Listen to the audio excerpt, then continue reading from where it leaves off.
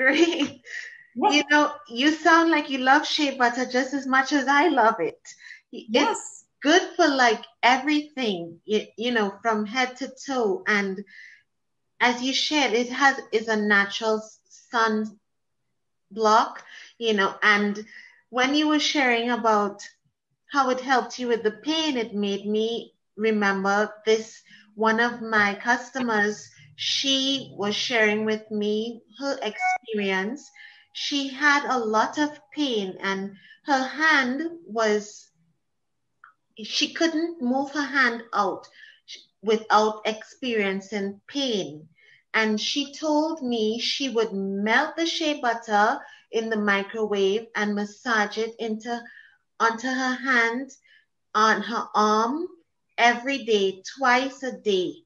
And she did that for one month. And she was like, look at me now, look at me.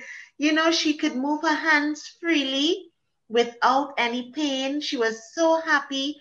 But you, the shea butter is really great for so mm. many things. And it seems like it has helped you with all those different things.